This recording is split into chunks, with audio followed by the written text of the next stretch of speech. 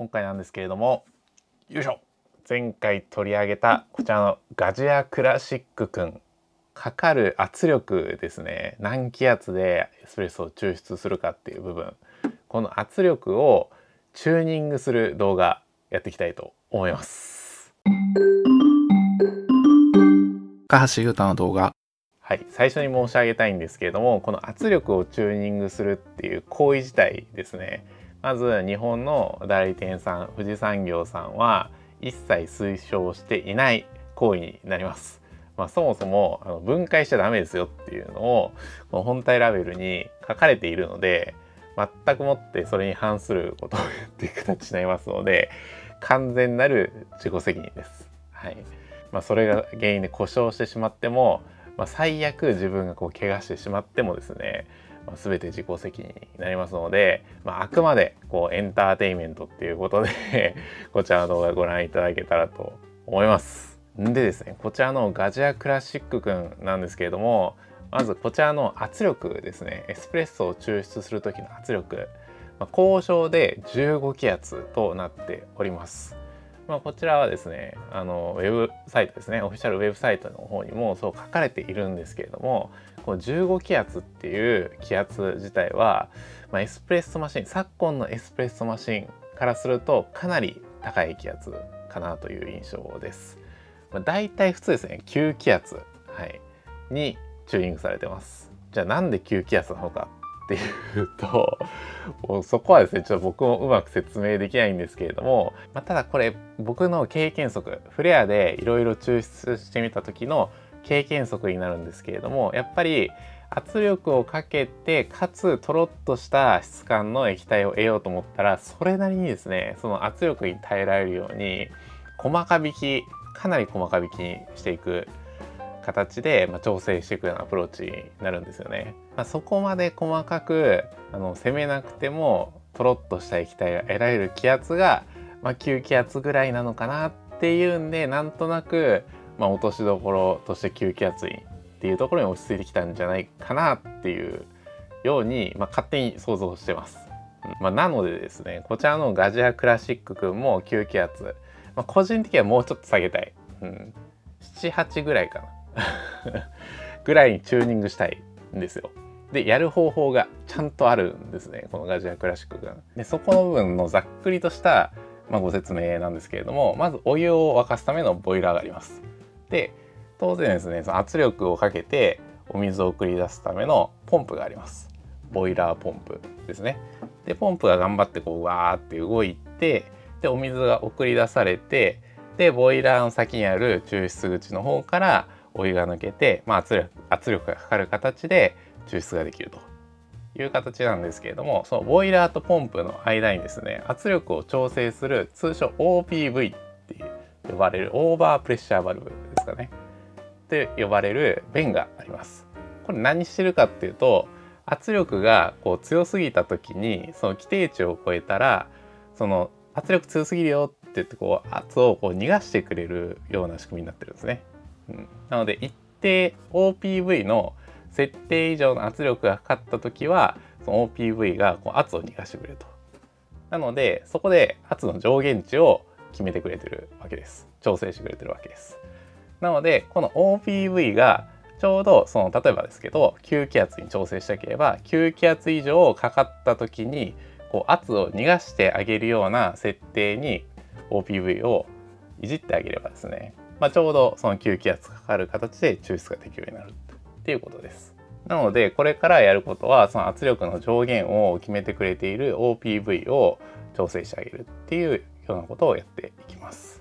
でじゃあ早速じゃあその OPV いじっていきましょうかっていうのをやっていきたいところであるんですけれどもまあちょっとですねいきなりそれができないんですよね。これ何かっていうとこのガジアクラシックもう構造がめちゃシンプルなので今その何気圧で抽出してるかとかっていうゲージが一切ないんですよ。だから15気圧かかってるらしいっていうのはまあそのメーカーのオフィシャルのホームページの方から分かるんですけどじゃあ実際何気圧かかってるかっていうのは分かりません。なのでその圧力をまず測れるようにする必要があります。ということでこれからちょっと工作をしていくんですけれどもこのポルタフィルターですね。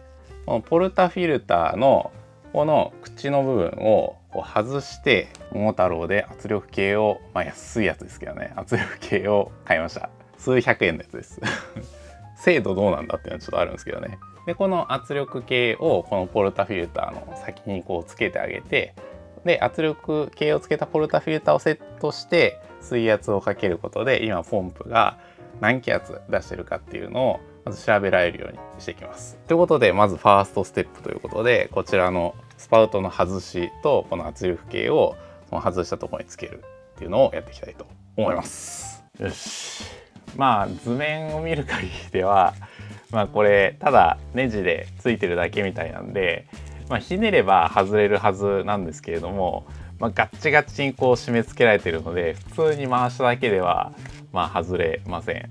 全然外れないです。外れるのかな？あダメです。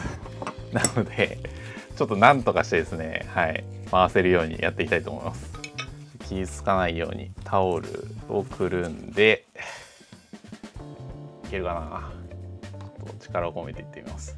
よいしょ。お？全然回ってなかったわ。タオルあるとやっぱダメだな。これでもう一回やってみるか。せーの。外れねえ 壊れないかな。怖いな。せーの。うわ。あちょっと回った。なもう一回いくか。ぐぜ。せーの。うわ回んな。あ回った回った。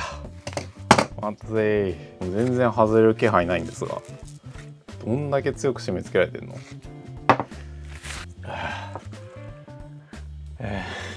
なんとか気合でここまで来ました。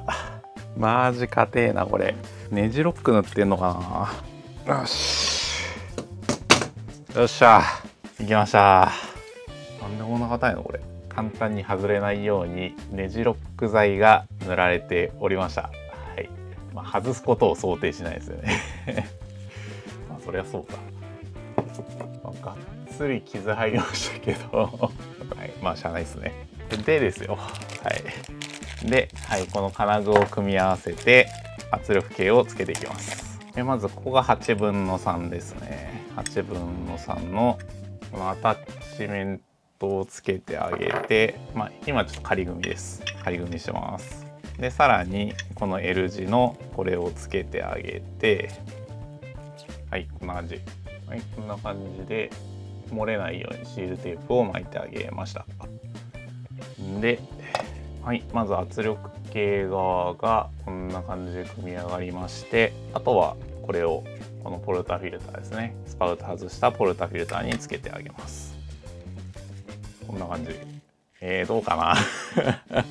漏れるかな？まあちょっと一回やってみますかこれででこの状態でここにお水を送り出してあげることで水圧がどのぐらいかかるかっていうのがこの圧力計で、まあ、調べられるはずです。そうしていきましょう。ゴー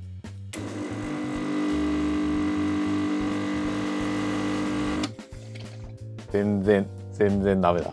あれなんでだろうな？発言閉めてもう一回いってみます。せーの。よいしょ。お来た来た来た来た来た来た来た来た来た。9、10、11。この位置ですねこの位置まで触れたので、えー、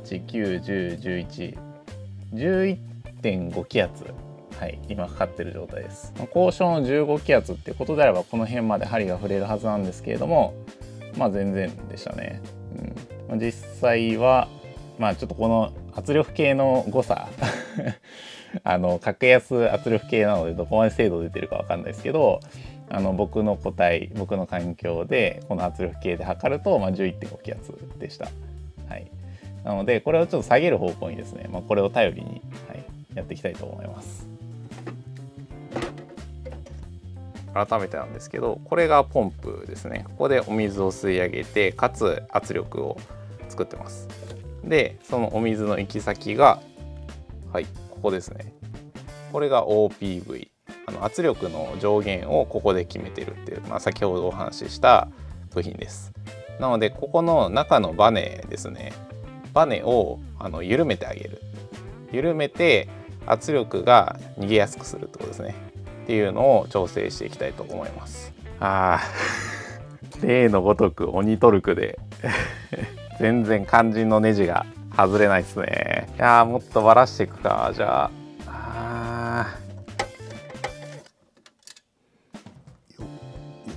はいいよいよ。で外した先にこの六角の穴が見えますけどここを緩めます。入れてあげて。どんくらいいってみる？分かりやすく一周緩めますか。一周緩めてみよう。お。半周と一周。これで圧力が弱くなったはずなので確かめていきましょう。さあ行ってみましょう。321と。この位置ですね。えーとつまり9.5気圧。はい。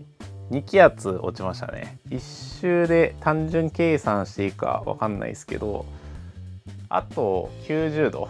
90度緩めればだいたい9気圧になるのかなと思います、まあ、今回はちょっとまあ、スタンダードの9気圧目指して調整してみたいと思います。もう一回微調整ですね。はい。90度を緩めました。もう一回いってみましょう。せーの。ほいまあ8.5ぐらいだったかな。まあ、バイブレーションポンプなんでちょっと最後の方でプルプルするんですけど8.5まあまあまあまあいいところかな。もうちょい攻める。もう一回調整しましょうか。はい、えー、ジャストですね。うん。このモノタロウの圧力計で9まで落とせたのでこれで調整完了としたいと思いますじゃあ早速この調整したガジアクラシックくんで抽出といきたいところなんですけれどももう結構もう夜なので ちょっと今日はここまでにしたいと思いますはい一旦カメラ切りますまた明日の朝お会いしましょう。おはようございます。一夜明けまして、はい、こちらガジアクラシック君暖気運転を済ませております。といってもまあすぐ温まるんでそこまでま事前に何かやるっていう感覚はないんですけども温まっております。で実はですねちょっとこのカメラを昨日止めた後に、まあ、お風呂入っておりましたら、まあ、はてと果たしてあの OPV ですね、まあ、ネジを緩める形で吸気圧にあの作立しましたけれども思いっきり締めるっていう OPV を効かなくしたらマックス何気圧出るのかなってスペック的にどんくらい出るのかなってちょっと気になったのであのもう回らないところまで回らなくなるところまでネジを締めて圧力の上限を決める OPV の機能をなくした状態でポンプ素の状態でこれ測ってみたんですよね。そしたら、まあ、15.5気圧ぐらいですかね。はい、出てました。この桃太郎の圧力計の読みで15.5気圧ぐらいでしたので、まあ、これだとメーカーのホームページに書いてある15気圧っていう数字にかなり近いところですよね。まあなので、まあ、どこまで意図してるかっていうのは分かんないですけど、僕のこのガジアクラシック君に関してはその15気圧っていう数字からちょっとこう圧力を弱めるような調整が入っていたみたいです。でまた再調整してあの9気圧ですねさらにそこからまた気圧を落としてっていう再調整して昨日寝たんですけれどもじゃあ最後にですねその9気圧にした状態で、え、抽出して飲んでみてっていうことをやっていきたいと思います。よいしょ。では。いけ。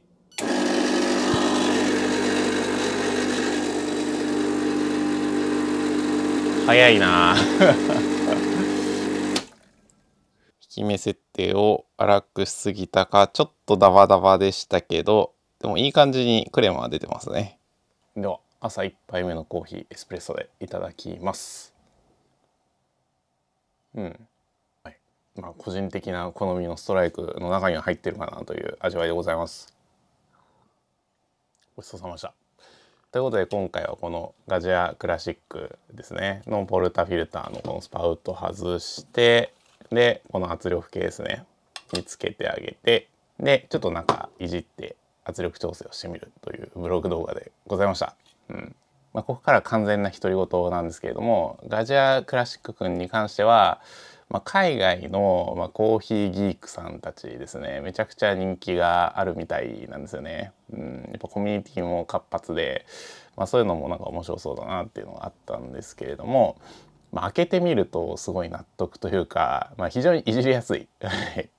いじりやすいですね。ネジ2本外しただけで開けられるしであとはあの欲しいあの部品がちゃんとついてるんですよね。まあ、ボイラーがあってポンプがあってでポンプからボイラーの方に直でこうガンガンガンガン圧力かけるんじゃなくてその調整ができる OPV ですよね。圧力調整できる弁がついてっていう。でやろうと思えばいじれてしまうっていうね、はい、そういうなんだろうな。もちろん何もいじらずにあのガジアクラシック軍箱から出した状態で普通に細かい粉を集めて濃いコーヒーを作ることはできます。はい、できるんですけれどもあのフレアエスプレッソでですねいろいろごちゃごちゃ試した身としてはもう少しこういうアプローチでっていうのがやっぱり出てきてしまうと。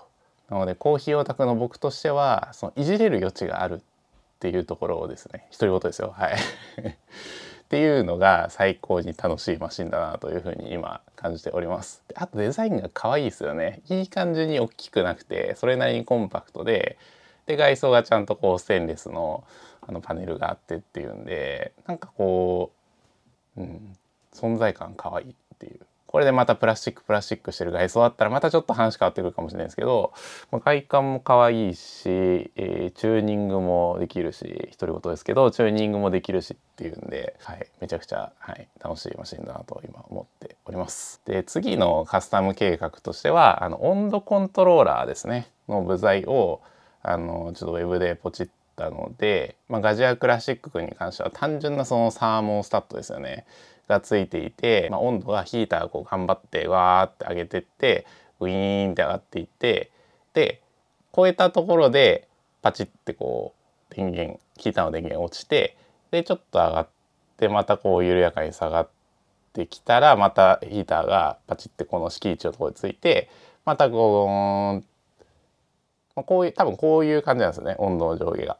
ということで、まあ、よくあるエスプレッソマシンと同じなんですけれどもこのブレを抑えるための温度コントローラーですね、まあ、例えば90度で抽出したいってなったらその90のところにとどまるようにパチパチパチパチこうヒーターを制御してくれるようなあの温度コントローラーですね。